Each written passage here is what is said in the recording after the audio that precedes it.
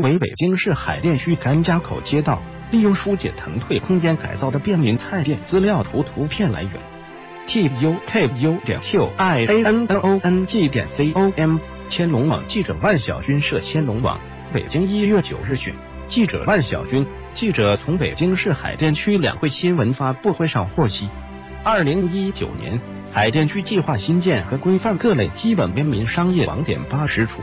其中菜篮子网点不少于三十处。据海淀区商务委相关负责人介绍，二零一八年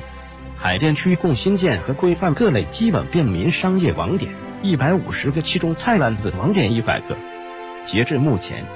海淀区共有菜篮子网点一千三百余个，其中规范化菜篮子网点八百五十余个，早餐网点一二百余个，便利店和超市两千一百余个，末端配送网点四百余个，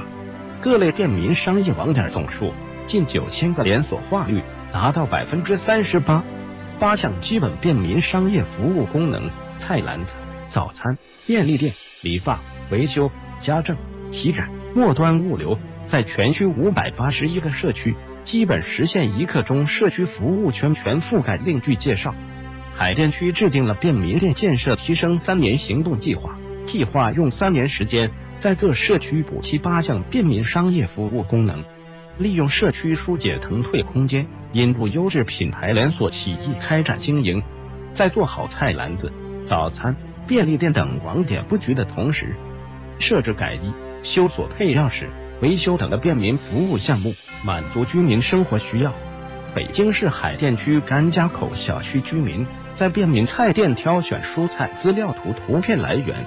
：t u k u 点 q i a n l o n g 点 c o m。千龙网记者万晓军摄。